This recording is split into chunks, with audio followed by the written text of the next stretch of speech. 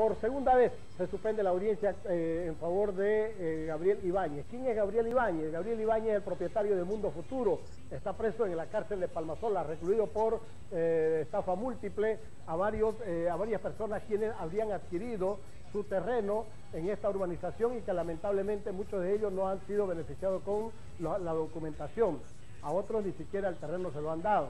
Lo cierto es que los, los afectados son múltiples, las denuncias son varias y es que el señor Gabriel Ibáñez eh, se opone o se resiste a devolverle su dinero, pese a que está recluido en la cárcel de Palmasola, como lo vemos en pantalla, y ha intentado ya en, en dos oportunidades en la jornada de hoy salir en libertad. Hoy,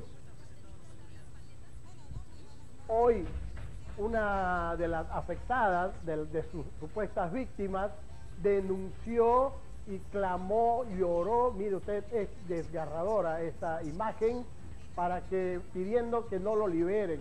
La señora juez Marianela Salazar es la juez cautelar que en sus manos está eh, eh, mantenerlo dentro de la cárcel o que se defienda en libertad. La audiencia se suspendió. Eh, veamos por favor y escuchemos lo que dice la víctima, una de las afectadas en este caso. órgano judicial ya que el señor Gabriel Ibáñez ha solicitado una audiencia de cesación donde pretende salir libre. Las víctimas le piden a las autoridades que no lo liberen, ya que supuestamente han sido estafados por esta persona. Denos justicia, no salga ese señor que tanto nos ha engañado. Por favor, tener piedad de nosotros. Piedad, juez, piedad a todas las autoridades de aquí del Palacio de Justicia, por favor. Nosotros ese dinero nos hemos prestado del banco, hasta del banco. Tiene que haber justicia, todavía él quiere salir. No puede ser. Sin arreglar nada, yo quiero mi minuta. Quiero que me entregue mi minuta, por favor. ¿Cuánto es el dinero que te... Eh, mil quinientos dólares. Y el dueño dice, vayan a pedir de él. Él no me ha pasado nada a mí, así nos dice, nos vota. ¿Qué le pasa a ese dueño? Sí. Nosotros queremos que nos solucione, porque en la realidad nos costó comprar, nos hemos prestado, somos de la tercera edad, no trabajamos ni nada.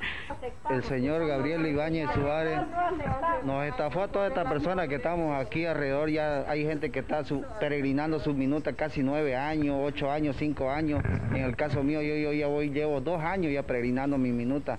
Yo lo único que solicitaría que nos den la minuta definitiva. De una vez, eso nomás queremos. El señor Ibáñez insiste en la libertad. Ahora yo le pregunto y le digo al señor Gabriel Ibáñez, si tanto insiste en su libertad, ¿por qué no entrega las minutas definitivas y se acaba el problema?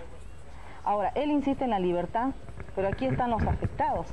¿En qué quedamos con todos estos afectados? No solamente están estas personas, existen múltiples víctimas. Aquí ustedes los ven, hay embarazadas, discapacitados, personas de tercera edad. Aquí efectivamente es la señora tercera edad y la señora. Existen muchas cantidades, múltiples víctimas.